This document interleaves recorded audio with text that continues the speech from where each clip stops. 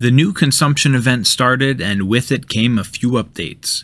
Let's take a look at them and talk about any implications they may have on our gameplay. The first mail, called Chinese Valentine's Day Preview, tells us which events are currently active.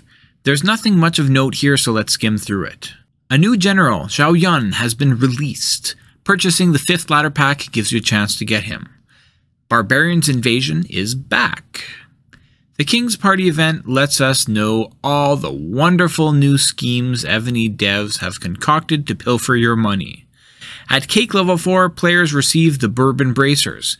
We'll talk about the Bourbon set in another mail.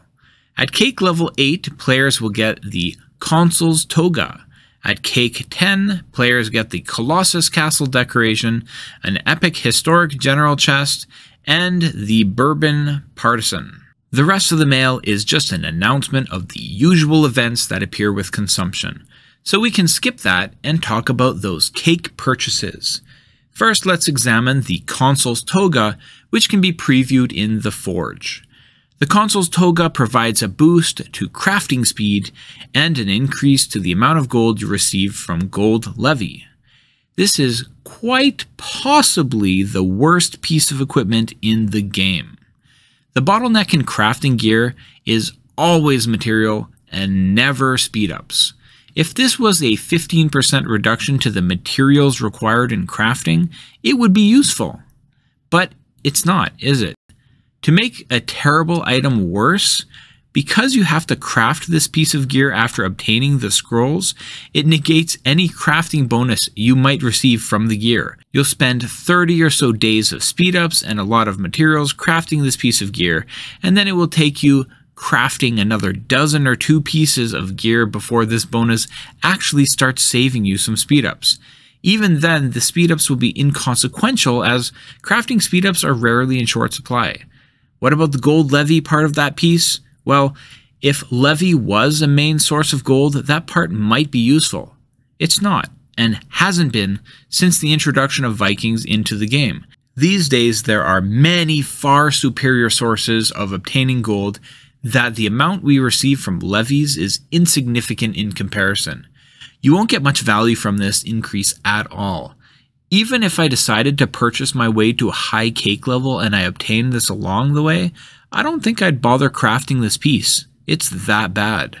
The Colossus cake decoration is valuable as it is a permanent decoration that does provide bonuses to either your ground or mounted troops, depending on which one you have.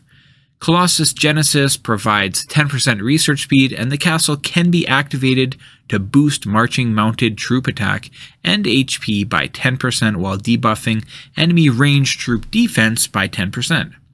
The other option, Colossus Apocalypse, provides the same 10% research speed and has an activation bonus that buffs marching, ground attack, and HP by 10%, while debuffing enemy troop HP by 10%. The decoration is valuable, yes, but is it Cake 10 valuable? Is anything in this game worth getting to Cake 10? These are questions you would have to ask yourself, I suppose. Let's talk about the last important part of the King's Party cake the new bourbon set. Just when you thought Evony was done sucking your money with civilization gear, more comes out. Of course it does. Did you expect anything else? I've heard so many people say they will be done spending when they get those last pieces of civilization gear. Guys, it doesn't end. The nature of this game right now is that whatever you buy, it's temporary. You bought a general that seems like it's going to be a top general. In a few months, it's replaced by someone else that just got released. Oh, you purchased all the civilization pieces to make sure you have the best gear possible? Evony is going to devalue your purchases in due time by adding newer sets and features that force you to continue purchasing to keep up or lose your edge. There are games out there that I can't wait to hear about new updates because they are certain to increase my enjoyment of the game. That's not so with Evony. With this game, no news is good news. The second updates come out, you can be sure they are not in the best interest of the players. They are just new ways to trick you into spending your money. So let's take a look at Evony's newest money grab, the Bourbon set. Owning the full set will boost your mounted troop attack, defense, and HP by 15%. Remember that this full set bonus is active even when the pieces are spread out across multiple generals. The two pieces of Bourbon that are currently in the game are the Bourbon Bracers and the Bourbon Partisan. The Bracers, which take the ring slot on a general, are the easiest to obtain. They boost your mounted attack and defense and increase your march size while debuffing the enemy's ranged troop attack. Ideally, this piece would be placed on a mounted PvP general. The Bourbon Partisan will take the weapon slot on a general. It provides a big boost to mounted troop attack with another boost to mounted attack when marching. The Partisan also debuffs enemy ranged troop defense and HP. Similar to the Bracers, this is likely most effectively placed on a PvP mounted general. The Zhao Yun Mail gives us some info about the newest general. He comes fully awakened and looks to be centered around mounted troops. His skill, Special Skill Undefeatable General, yes, that's the actual name, increases ground and mounted attack and mounted HP by 30% when attacking. His specialties look really solid, so he's going to be a contender for the top. Keep in mind that just because he's strong doesn't mean he's the right choice for you.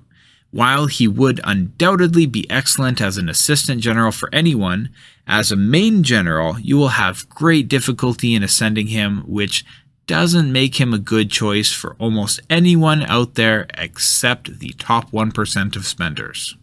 Finally, let's move on to the final mail called New Features of the Latest Version. The newest generals to be ascended are listed in the first part of this mail. Hooray to the ascension of Minamoto! That's one I was looking forward to seeing. Electra is still going to be one of the top choices to ascend as you can get her fairly easily from relics, but Minamoto is even more accessible by being a tavern general, so he might just be the top or one of the top choices for a PvP archer general now, unless you dump the equivalent of a house mortgage onto the game. We've talked about the terrible toga, so we can skip that and move to the improvements of event reward section. The server gifts are those rare gifts that you get on your wall when the server reaches a certain threshold of spending. You can check out where your server is at when you claim those gifts that pop up on your wall. My server is at level 20. The other daily reward that was improved was the bonus from offering. If there was an improvement, it was an underwhelming one. Hopefully, I'm just missing something here, and someone in the comments will point out that there's some incredible improvement I didn't notice. The mail also suggests that Server War, World Boss, and King's Path rewards were improved also. The last part of the mail just lets us know that there's now a tie-breaking system for some of the event rankings in the game. I'm so glad that they've worked hard on such an important change for the game, instead of all the unimportant things like servers dying out, finding a balance between heavy spending and low spending, or actual bugs in the game. Can you sense my sarcasm there? Thank you so much for watching this video and supporting the channel. If you liked what you saw, please consider hitting the like button and checking out other videos on the Miser's Guide to Evony. I'll see you in the next video.